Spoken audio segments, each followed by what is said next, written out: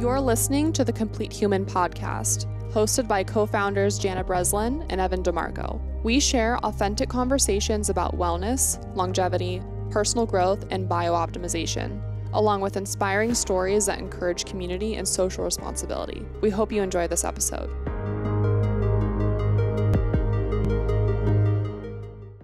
All right, ladies and gentlemen, welcome back to another edition of the Complete Human Podcast with your hosts Janna Breslin. and Evan DeMarco.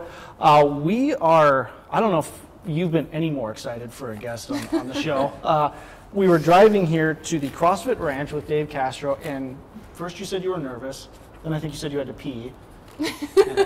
Uh, It's exciting times. It You've is. been fangirling for about two days now. You know, I well, mostly because I I started CrossFit like two and a half years ago or something, and it's just been really transformative for my life. So this is just something I'm personally passionate about, and I'm really excited. So So 20 years ago, uh, the CrossFit gym started in Santa Cruz uh, as one gym, and since then, I think compliments of its high intensity interval training mixed with Olympic, you know, really kind of yielding some results. It's developed this really impressive, if not fanatical, following. Yeah, Um, in 2007, he knows. to say the least. uh, in 2007, the first CrossFit Games was held right here in Aromas, California, at your family's ranch. Yep. And I think since then, about 2007, you've been a predominant player in the CrossFit community.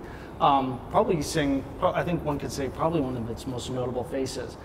Um, and so, for those of us who don't know, uh, we've got Dave Castro in his house, not in our house. um, so, for those of our followers who don't know who you are, give us a little bit of background on, on Dave Castro. So I started working for CrossFit in 2006, and uh, the reason I even got my foot in the door and had an opportunity to work for CrossFit is um I was in the Navy, and I graduated from high school in 1996. I was living here in this uh, at the ranch, so I started um, researching and reading and buying all the books I could find on Navy SEALs, and um, and one common theme theme I kept uh, coming back to when I studied them was that they had the toughest training in the military, and it was regarded as one of the toughest um, programs to go into. So as I was reading all of this and learning more and more about them, I thought to myself, can I do that?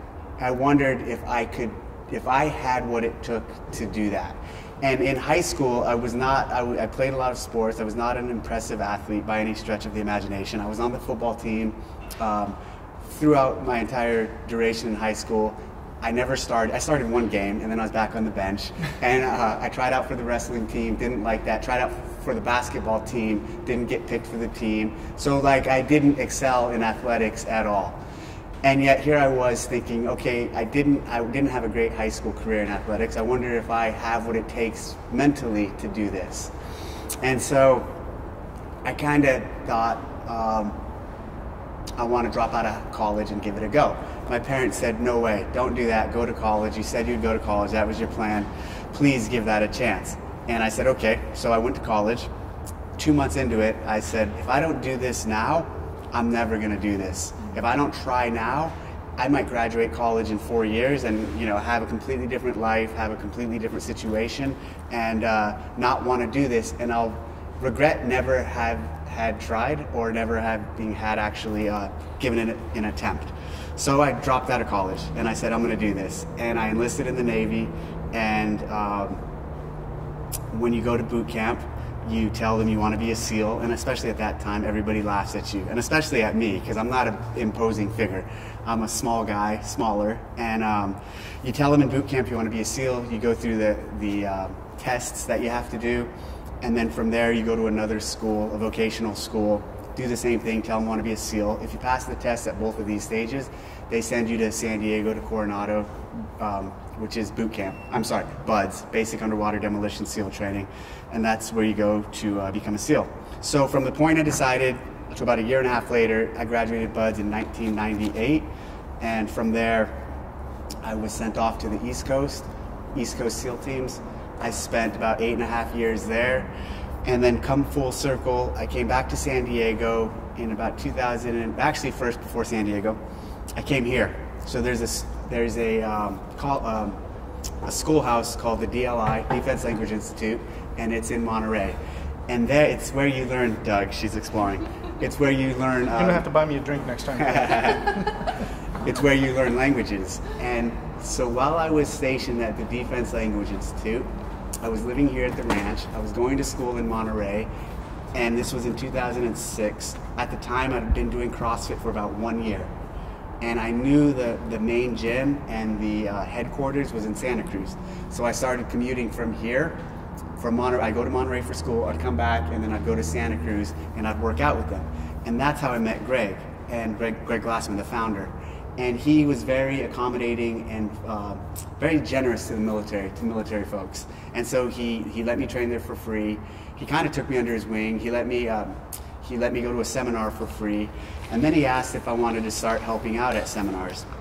So I started um, volunteering essentially at some of the level one seminars, and that's how I got my foot in the door with CrossFit. And from there, it was it was all about, in my eyes, just um, creating value and contributing to the team. And you know, I came from this. That sounds like a very SEAL kind of philosophy. Yeah, it is, but it's easy to come from that SEAL background and come into a civilian environment and think you have so much to offer without actually wanting to offer much. Yeah, now it's this is your life. Like you, Yeah. it is CrossFit all the way. So in that phase, so that was around 2006. Um, I was still active duty, and and I from the beginning I talked to uh, the media team and I said, don't talk about me being a SEAL. Don't put it out there. Don't I don't want to lead with the fact that I'm a Navy SEAL, and I don't want you guys to leverage that either. And that even to this day is pretty important to me. Like when you look at my social media or how I handle myself publicly, I don't lean on that, and I'm really proud of that because. Um, I really respect what I did and the people I served with and the people I work with. And one of the things that made us who we are is this notion of being a silent professional. It was 12 years in in 2010. I decided I wanted to get out and work full time for CrossFit because something had to give. I couldn't do both any longer. If I stayed in the Navy, I'd go back to being operational. And if when you're operational, you uh, I would have a chaotic schedule and I wouldn't be able to do the work I was doing for CrossFit. And I had some loose ends I wanted to kind of tie up, tie up, and one of those was deploying again. So I called one of my old team leaders at one of my former teams, and I said, "Hey, can I deploy with you guys to Afghanistan?" Um, and I didn't tell him at the time I was getting out yet. I didn't tell anybody, and he said, "Sure." And so I deployed to Afghanistan and uh, was doing combat missions while programming the CrossFit Games and planning the CrossFit Games and uh, scheduling and staffing level one seminars. Wow. So I was working, I would come back from missions and we, we had hacked uh, Wi Fi or, or internet and uh, doing both jobs. And that's something that's not like, I, again, it's one of those things I, I rarely talk about and haven't like led or pushed out, pushed that narrative out, but it is a cool little fact. So in 2010, um, that's when I completely cut ties with the military and was full time CrossFit. Well, first of all, thank you for your service. Yeah, thank you. Thanks. And um, you you mentioned social media. So I've I've seen a few things floating around on social media, and I have to ask, why is Dave Castro a prick? what is that about? Actually, that goes back to the SEAL team days. So, Okay. yeah, in two, from 2007 to six, seven to 10, when, when I was in San Diego, I was a BUDS instructor, and um, I taught uh, shooting and close quarter combat tactics at the final phase of, of that program.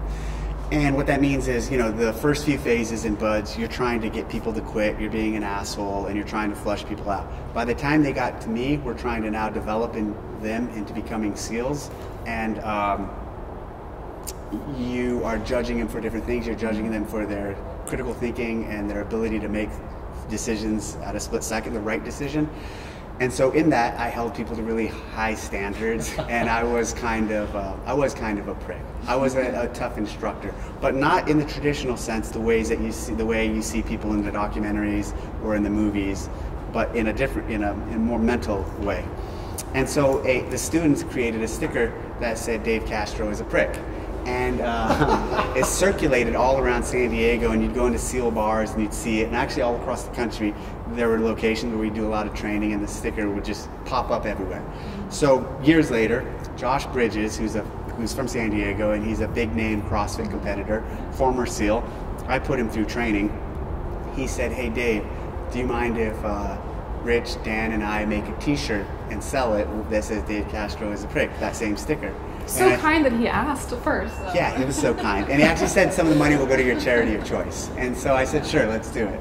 Well, he did it, and that shirt became like a huge hit. And uh, that year we were running regionals, and every event I went to, people want to take a picture of me that were wearing the shirt, and it, it was a very it's a very popular shirt in the community. but I I, uh, I like it. People thought I'd be upset by it or insulted. It, whatever.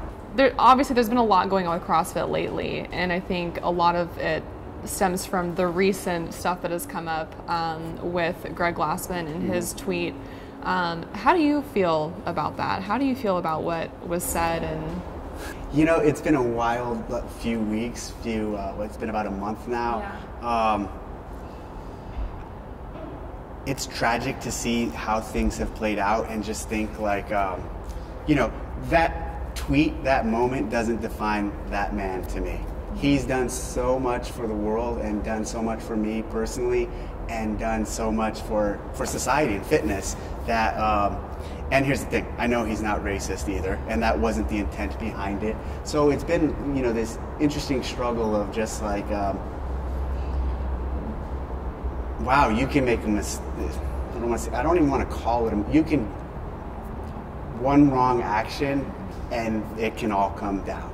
And that's just like a big wow. Like I see how it happened to him, and like that could happen to any of us, you know. And just like it just really taught me um, to really be aware of anything and everything I say. So I, that's an interesting thing that you bring up, right? And, and I guess my question on that, and, and, we don't really want to get too far into this. I think that there's so many other positive things in CrossFit that we can talk about, but it seemed that there was a really delayed response from the tweet from corporate. Mm-hmm. And my question is, would it have been better for him and for the community for him to just, you know, the very next day say, you know what, that was I, I screwed up. I'm sorry.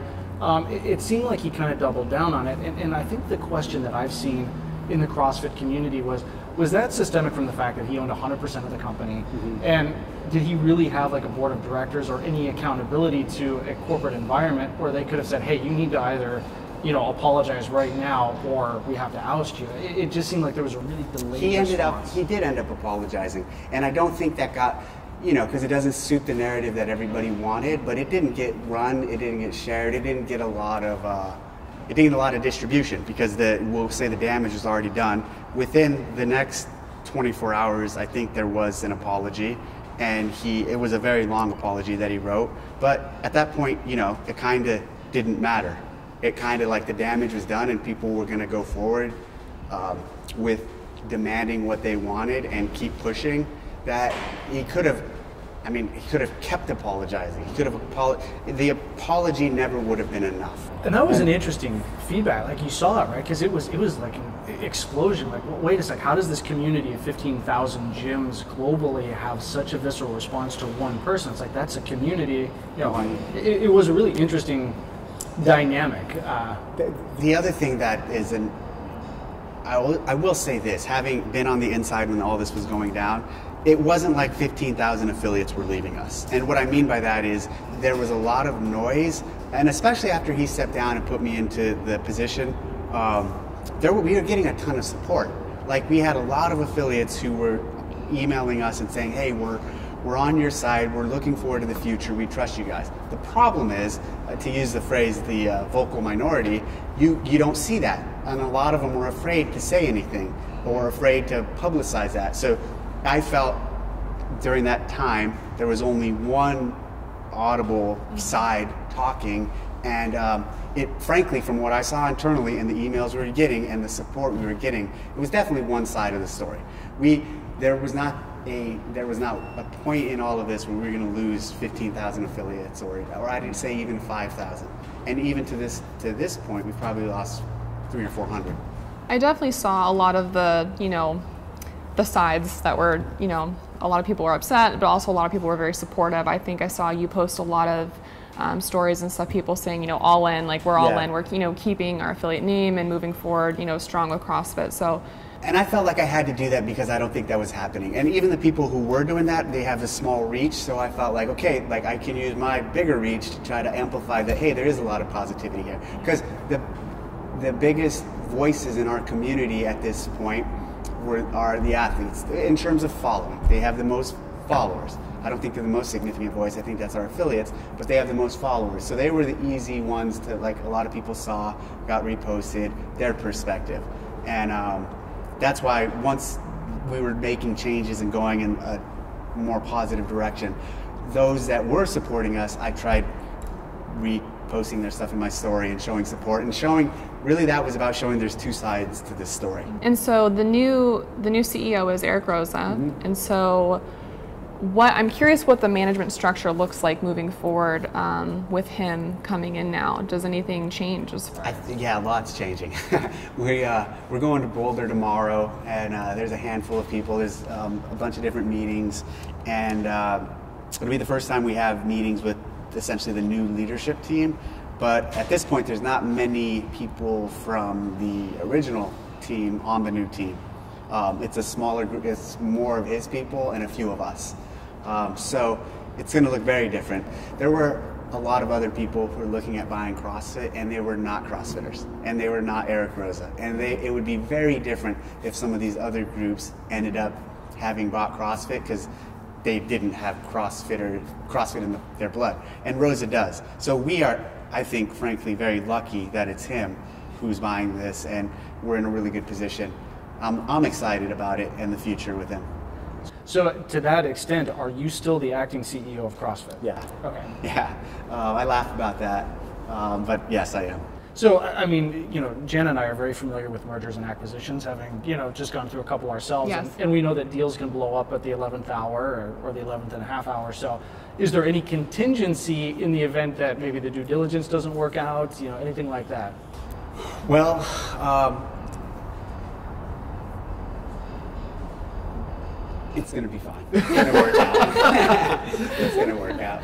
I love it. All right. So, so, so those interested in the CrossFit IPO, yeah, that's. Um, I, I think the other question that we've seen a lot in social media is: Is Glassman going to have any continued ownership, or Involvement within the within the community. No, ownership, no, and involvement. Um, at this stage, no. At this time, no. You know, to be honest, I'd like to see a, a time when he could come back and contribute because you know he he has an amazing mind and amazing ability to create and create things for health and fitness that um, is is un. Um, no one else can do it like he can. And so I think to lose that completely would be a shame. Maybe there'll be a point when the community is uh, willing to accept him back and let him contribute in, in, in any way he can. Um, I wanted to bring up something that I heard in a previous podcast that um, you mentioned that you you felt hurt by the community because you weren't recognized as Mexican American, and you know there was some talk that there wasn't enough diversity within CrossFit. And I mean, I'd love for you to elaborate more on that. And Yeah, I like so after all this stuff went down, one of you know even after so after after the George Floyd stuff and after later then the tweet, well even before the tweet, so many people were telling me I had to put up a you know say this or put up this black image and I was getting attacked from all angles outside of not within the company but outside. Do this or do that or say this and if you're not doing this or you're not doing that or you're not saying this you're part of the problem or you're racist. And I was getting DMs of people saying this stuff. I was getting it on my account. And it was so disturbing to me because I'm a Mexican American and uh, b all my actions you know I've never I've never I've never been racist and I've never shown the world that I'm racist. So why now do I have to do whatever? Why do I have to do the popular thing at the time to uh, pacify some people, to pacify someone else's interest? Why are you going to tell me what to do? And if I don't do that, I'm a bad person. And you know, when I was growing up here, I uh, went to Watsonville High, and Watsonville High probably had 90% Mexican population. I was on the football team, and it was a lot of white kids and Mexican kids on the football team. And when I hung out with uh, my white friends, I was really Mexican. And when I hung out with my Mexican friends, I wasn't Mexican at all. And so, like, especially because I didn't speak Spanish. So, when I think about why this was bothering me so much at this period, I go back to that phase where, like, at times I, I'm not brown enough, at other times I'm too brown. And, um, and then when I was in the SEAL teams, you know, I was, there's not many uh, ethnic people at all in the SEAL teams. And, and I don't blame that on, on them being non inclusive or anything by their design. It's just the way it shakes out. Uh, it shook out. Um, so even there in that environment, you know, I had nicknames like Brown Guy, and you know uh, stuff like that, and it was fine to me, and I laughed about it. It doesn't bother me. It was okay. Um, it is frustrating. I mean, it's like at what point do does a company or do figures within a company have the ability or the right to kind of push back on the you know customers or the community for for stuff like this. I mean, it's like uh, what what is the limit there? And it, I think that is a struggle for for Yeah. a lot of people. right now is a, a tricky time with all of this. The the cancel culture or that aspect is kind of winning. I mean, look, the Washington Redskins had to change their name, Right. and uh, and before they changed their name, you had you had um, Nike and all these brands pulling their stuff off the shelf. So they force these companies and people into a position where they have no choice but to make action or to take action. Tearing down statues of historical figures, all of it. It's wild. It is wild. Yeah, it's, it's a different world than I think we grew up in. And you and I graduated uh, high school at the same year, so I'm assuming we're about the same age. But it's, uh, you know, I've never seen anything like this. Yeah. And that count, the, the cancel culture, just social media has given people a voice, and that's great.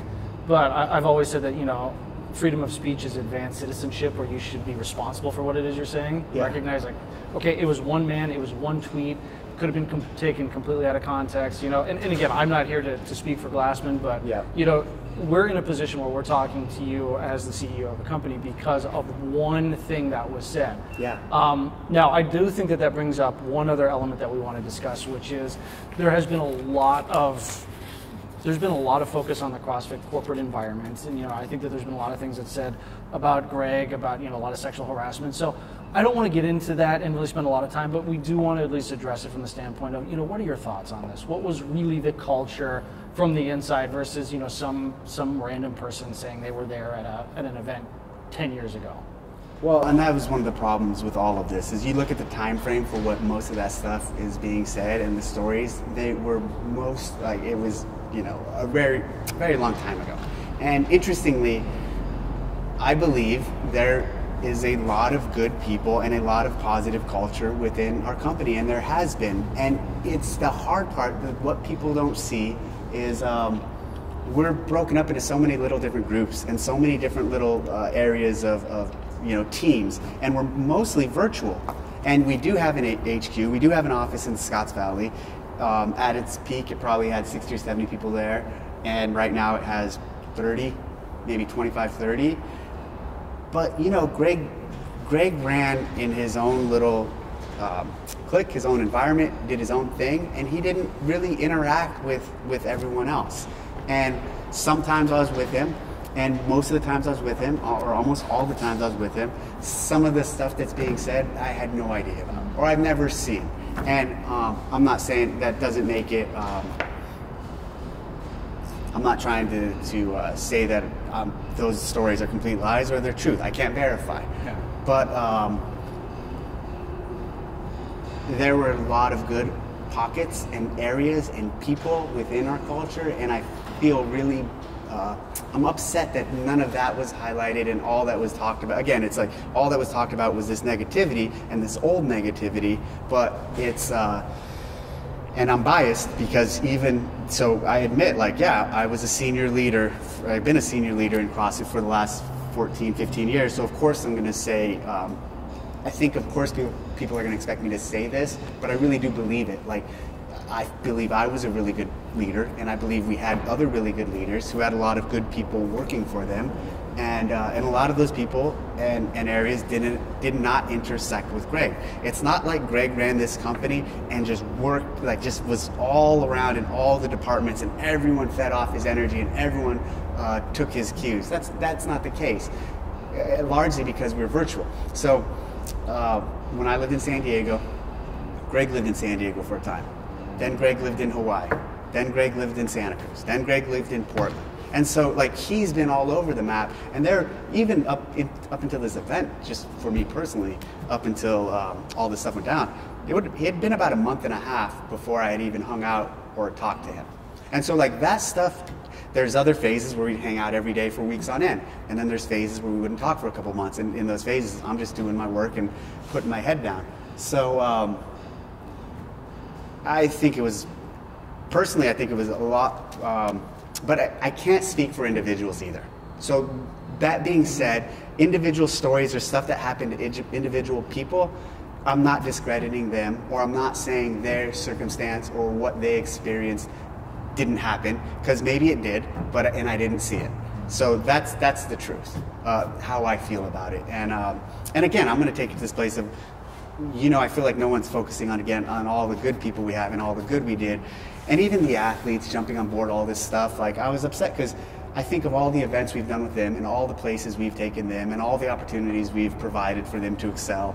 And we've treated people, them especially, very well and we do events whenever we do open announcements or invitationals or even at regionals and other events you know we have we have people assigned to them to make sure they're taken care of and they're not they were treated very fairly so to see so much of this like okay he's bad now all of you are bad and everyone's bad and everyone needs to go and the whole leadership team needs to be taken out uh, i thought it was unfair So witch hunt? Well, I was Yeah. just about to say, it seemed like, or just from what I could tell or read, that you know, from people in within CrossFit, they were leaving, but I've also heard of people coming back too with the changes that have been made. So it sounds like Yeah. there's a lot of optimism moving forward, and I'd love for you to touch on that too. Is what does the future of CrossFit look like? I think uh, I think it's very bright. I think it's going to be very different, and I also think that's okay. I think there's people who are going to struggle with change internally in the company and externally, and I think that's part of big change. And uh, it would be it would be um, ridiculous if Eric didn't have big visions and big plans to change all of this. Of course he does. You know, he's uh, he's a new owner with a different background, and um, and he's going to do things differently, and that's fine. And I embrace it, and I'm excited. I'm excited to see where he takes it. Am I going to challenge him? Yeah. Am I going to try to? There's some stuff that I think should be preserved and not um, abandoned for sure. It'll be challenging. There'll be some bumps in the road, but uh, hopefully I'll last. What are some of the things that you really wanted to accomplish as CEO that you may or may not have had a chance to, or, or maybe even have the potential to work on moving forward? Well, right away, so we, there was a lot of things we could do quickly. Um, that so very on, when I was named C, very very early on, I knew the sale thing was also happening because it was there was a time before uh, it was an, even when it was announced. There was a few weeks pre that that we knew this was in motion. So, did you know that your role as CEO is going to be kind of short lived? Not right away, but like maybe a week later or so. Like I, I, the ball was in motion with some of these discussions, Gotcha. and uh, but I couldn't let that slow me down or prevent me from doing things or making change changes. And there was a lot of little things. So knowing that, there was a lot of little and immediate things that I wanted to do and, and change I wanted to make. Um, that I don't want to say was low hanging fruit, but that was low impactful that wasn't like major changes to the whole company and the whole affiliate program. Some of those things that we did, uh, well, one of the basic things was just increasing communication. So we don't speak to our affiliates that much, and that was one of the biggest concerns and areas of improvement that they recommended was we want to hear from you guys more and we want to hear directly from you not from some of the other media outlets. So right away we started communicating and communicating looked like sending emails out to the affiliates on a regular basis. So now we have a weekly email that goes out to them and in between that if we have anything else to say we'll say it midweek. And and that sounds silly but understand for us that's huge because greg was always against sending out emails to our affiliates. He just he, he really has this uh, hands-off approach and you know don't bother them. They're going to do their own thing. And some people frankly do want to be bothered. Not bothered but they want to hear from us. And so we we increased the communication tempo. I've had some affiliates email me and say hey since you've been in we've heard from you guys more in the last week than we have in the last five years. And so that was an easy thing to, to help. And on in, and in all that communication, we're facilitating, hey, talk back. We're facilitating communication. Like, tell us what you want to hear. Tell us what you want to see from us. So with all this stuff going on, people were demanding you guys need to, you know, give money to this cause or say this or do this. And uh, I was thinking, how can we contribute and make a difference and not just make it about money or giving money to any one? And so I was talking to one of our trainers, and it hit me. I said, "Hey, we're going to do what we do." And he says, "What do you mean?" I go, "Well, what do we do?" And he goes, I don't know. I go, we're trainers and we teach level one courses. We teach, we give people the skills to, uh, to change people's lives. We teach them how to fish essentially so they can put, uh, you know, uh, food on their table, but through training and through coaching. I said, so we're going to go into areas that typically don't have the um, financial means or accessibility to a CrossFit Level 1 seminar, and we're going to give CrossFit Level 1 seminars to some of these communities. And so we set one up. The first one we did was in Atlanta, and I said it, I wanted it to be for youth and young adults in those areas. And again, people who would never really have the opportunity to, to do our program. And so we reached out to um, local community centers and local community reps, not CrossFit, but just in the uh, in those areas.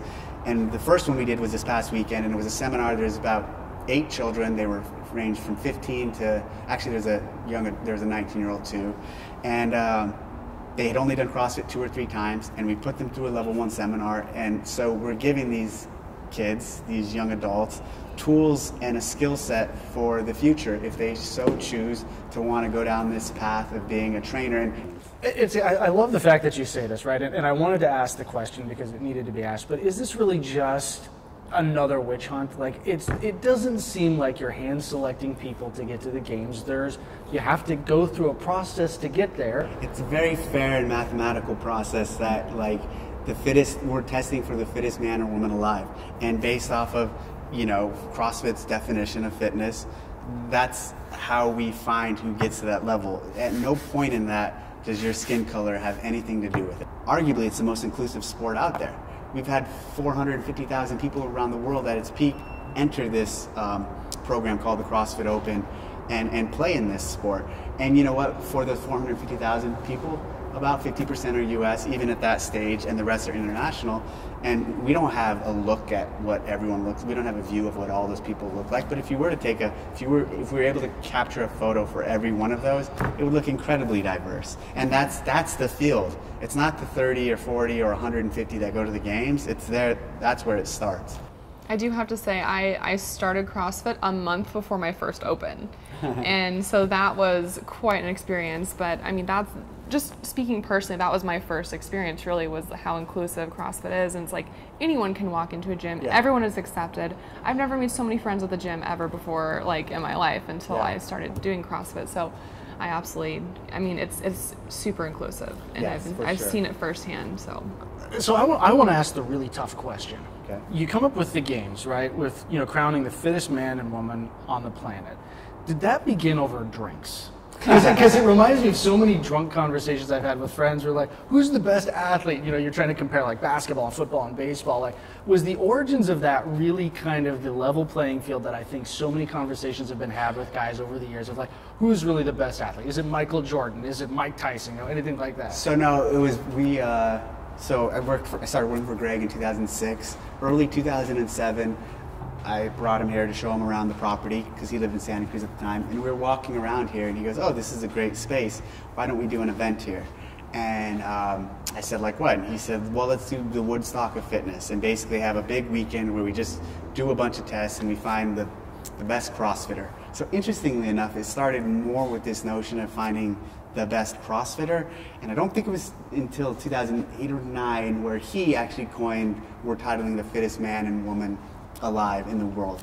And he gets credit for that. Um, I don't think it was definitely, yeah, it was, he was the first to say that.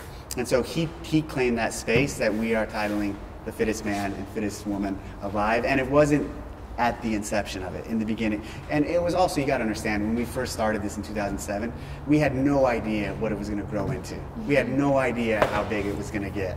So um, I think we really just thought we were going to have a little gathering.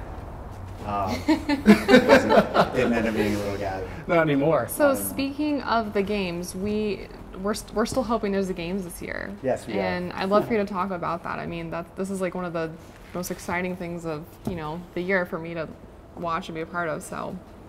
You went two years ago, right? I went last year. Last year, okay. Yeah. Um, yeah, we're trying to pull it off. It's there's a lot of struggles and a lot of it's an uphill battle between. Um, especially well almost exclusively because of COVID, and you know this recent resurgence, if you will, yeah. and um, travel restrictions. So we have a lot of issues we're dealing with, but we're still trying to do it. Uh, Gavin Newsom suspended indoor gyms again. So now we're back to this issue where these small independent affiliates who are really kind of owner operated businesses are struggling. Um, is this what's the long-term potential of CrossFit, and can COVID actually, you know, cause some major problems. there's a lot of gyms that are having to uh, that are on the verge or have to close down because of COVID, and at this stage, um,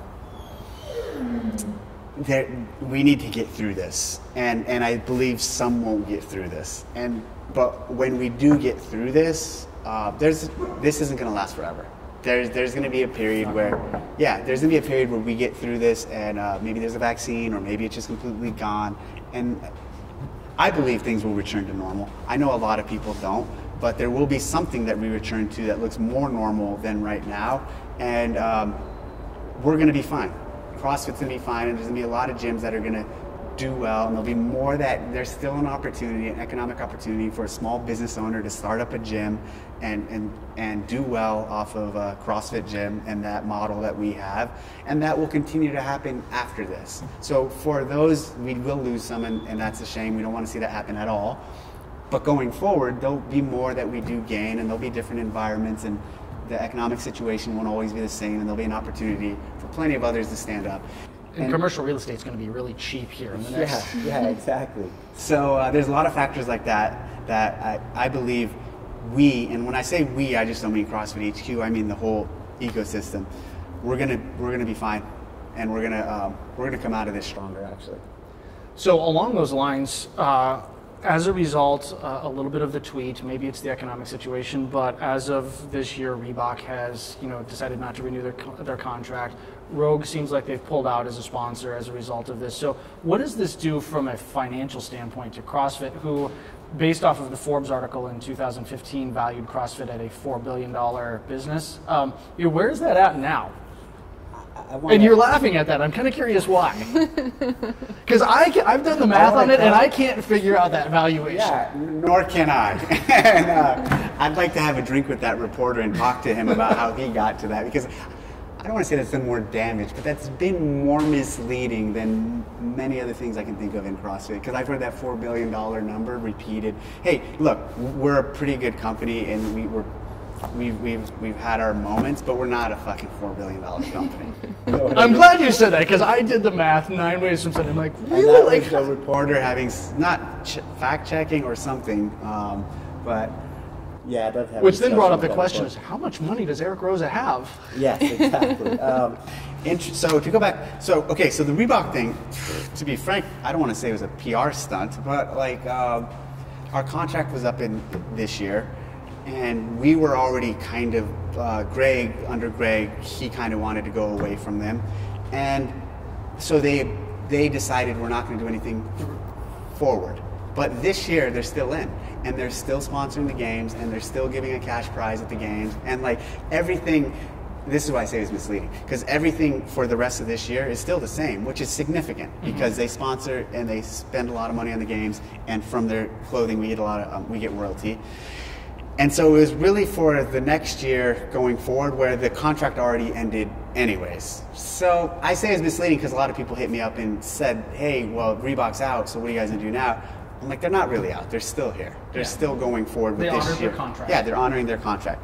Um, going forward, I mean, the, the discussions, I think, to negotiate with them if we choose to, the opportunity is still there. And um, and if we choose to go in a different direction, I think there'll be opportunity there, especially with uh, with Eric at the helm now and um, companies being excited at the opportunity to, to partner with us. Because here's the thing: the reality is, this is the big player. Like CrossFit is in the position. Uh, to continue to dominate the fitness scene and the fitness world, and, and people recognize that. Regardless of our speed bumps, this will all pass, and uh, and we're, we're we hold a distinct advantage over in this space over everyone else, and and realizing that is important. And I think um, there's companies who do realize that and, and recognize, okay, there is a good still a good future for this going forward. Rogue, they're still in. Um, yeah, they they're still involved with the games this year too. Same sort of thing, um, and they'll they'll more likely be involved in the games going forward, uh, more so than even Reebok. So like yeah, the rela- the relationship with Rogue is uh, is stronger than ever. Okay.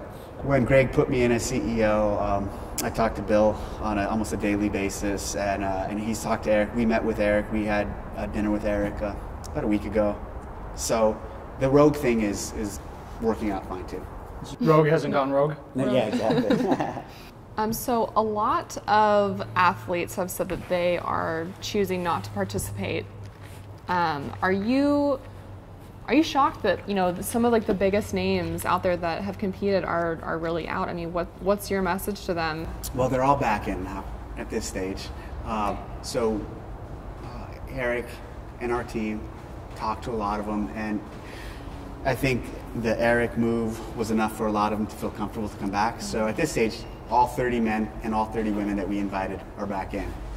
Interestingly, especially with the way I am, I feel like you say you're out, be out. you know what I mean? Like, stand by what you're going to say. So I'm not too impressed with how a lot of that went down. I wouldn't say anything like that unless I was going to stay, stand by it and, and really stick with it through the end. But um, I think it's ridiculous how many had to speak and felt the need, like right now, to to go that route. And I was 100% prepared to backfill, and we would have the games. And to me, like that didn't, I wasn't bothered by it. I don't. I was talking about this earlier on Instagram Live. Um, I don't place them on a pedestal like others do, and I don't fanboy over them. And I think that actually is why I'm so effective in this position and role, because you know they don't. We had a lot of people even in our media who would really look up to these athletes, and, and they do look up to these athletes. And don't get me wrong, what they accomplish is significant, and they're they're great um, athletes and um, competitors.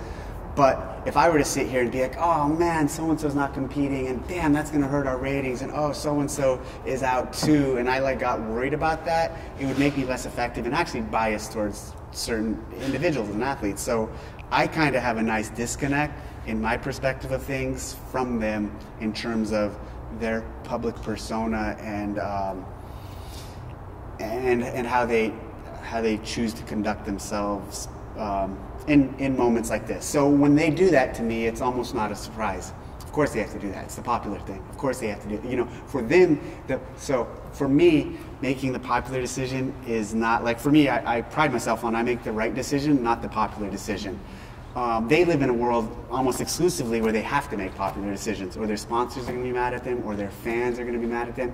I'm not beholden to any of that. I work for CrossFit, and yeah, if in the old regime Greg wanted me to do something, he never did though. If like he never said publicly say this or publicly do this, and I was able to stand my ground and make my decisions based off of again the right thing and not the popular thing. Uh, I don't believe Eric will hold me. I don't think uh, I think Eric will give me the same freedom. But those athletes operate in a different world. They operate in again. They have, they have, and you know I know for a fact some of them felt like they had to do some of that. And mm-hmm. say some of those things. Again, why? Because it's the popular thing to do, not necessarily the right thing to do. And that is hard for people to hear and understand, especially young people. Going against the grain is one of the toughest things you will do but it is so necessary and you'll grow and be stronger from it. Go not doing what's popular, but what's right, right for you, right for your family, right for your community. That's hard. And that's what I've seen through all of this. It's hard for people to choose the uh, challenging path or the tough path instead of the easy route. It's a so, great message. Absolutely.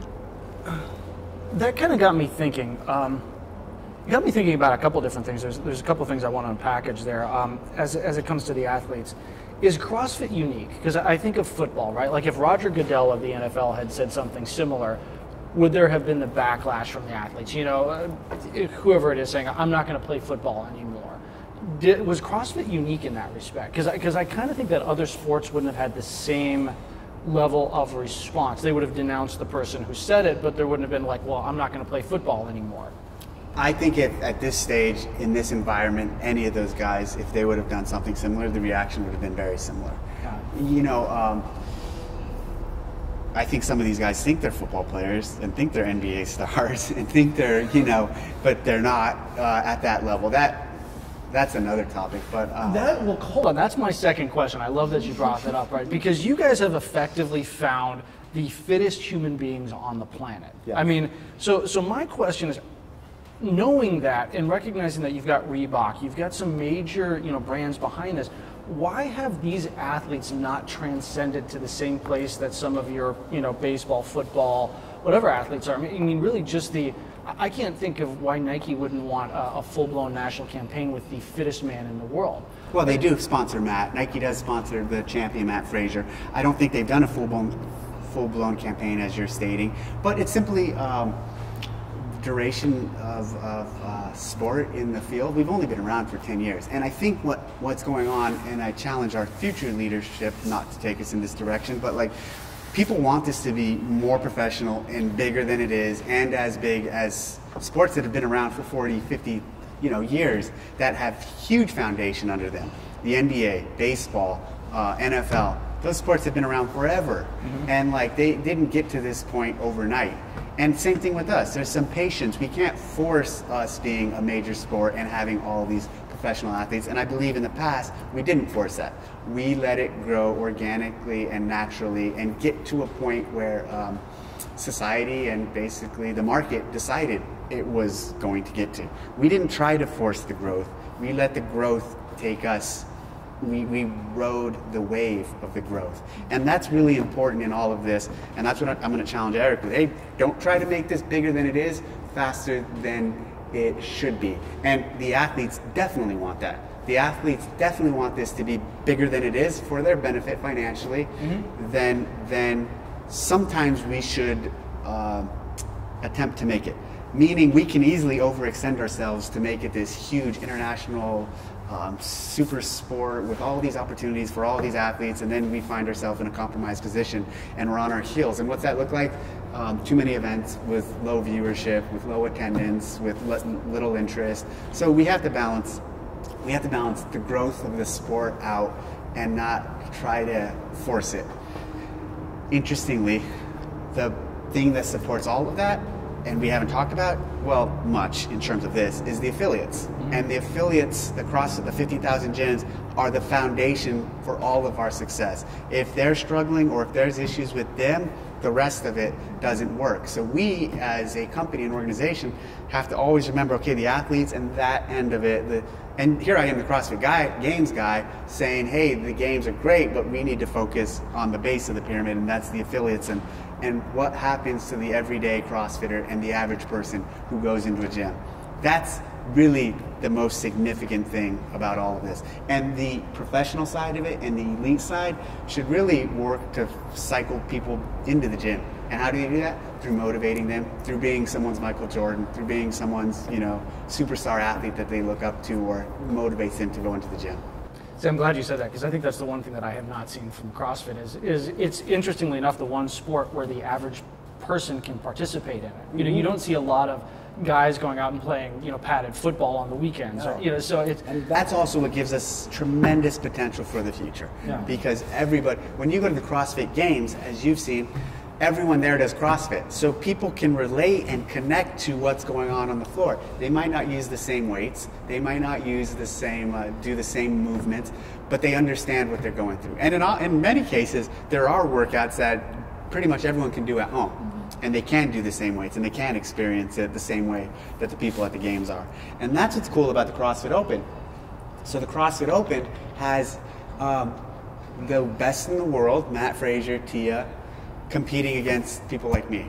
Like they're not so best in the world. I was, and so like we all compete against each other and we all rank against each other, and it's just this uh, beautiful expression of, of, of CrossFit in that everyone does the same exact thing, same exact test, same exact workout. let's see with your background at least you probably know nine ways to kill them with a spoon. with a spoon. It's actually it's actually ten. exactly. Go ahead. I think you had a question. No, I was just gonna. I mean, any other questions we have? Uh, You know, I want to touch on one thing. I, I, I'm not, I don't have the CrossFit background that you guys do. Um, I kind of get it more from friends, and I think with my travel schedule, my workouts are usually hotel gyms. But a couple things that CrossFit has done that I, I don't know if I'm okay with is made it acceptable for my best friends to call me and say, "Let me tell you about my WOD." That's a problem. But uh, uh, joking aside, I, I think the one thing that I've been in arguments or heated discussions with is: Is CrossFit for the everyday person. We hear uh, so much about rhabdo. We hear so much about you know some of the you know some of the injuries that have come out of CrossFit, and that a lot of athletes kind of wear those as badges of honor. So, is CrossFit taking a position, or do you feel that it is really for the everyday person looking to get in shape? It is absolutely for the everyday person looking I to get in that one up shape. for you, I know you did. And interestingly, the injuries you say that they wear as badges, I wouldn't say are injuries. Like when you talk ripped hands, that's not an injury. That's like so. That's some of the things you see people show off, and and and people and people are really critical of that. Like, why are you posting your hands torn on your Instagram or whatever? That just shows how dangerous CrossFit is. But that's not an injury. That's superficial. Uh, you know, there are some occupations where tearing your hands probably isn't uh, like a, if you're a surgeon or or um, is, isn't a good thing for for you going to work, but the injury thing, um, interestingly, it's way more safer than a lot of other um, pursuits that people uh, tackle, especially like running. You know, running the repetitive injuries We from running, time. yeah, is the, that's one of the most uh, the worst things you can do for your body in terms of trying to get in shape and going into it quickly. Um, CrossFit is accessible to everyone because anyone can do it and everyone actually needs it. So we could pull someone in here in here and. Uh, where I'm deadlifting 225 and doing rope climbs, we could have a um, an elderly person deadlifting the PVC pipe and just grabbing the rope and moving their arms up and down. And it's I'm not elderly, but thank you for referring to me that way. it's infinitely scalable and accessible to everyone and it has a profound effect on anyone who does it. And that's the power of it. And that's that's the beauty of it.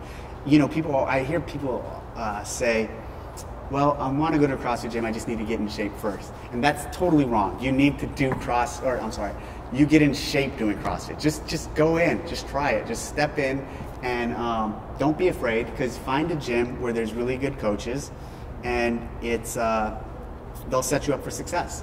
And that's the thing about the program, that's the thing about the affiliates. They, they care and they want to change people's lives and they don't want to hurt anyone. It's not in their interest to do that, best interest. And um, give it a go, give it a try.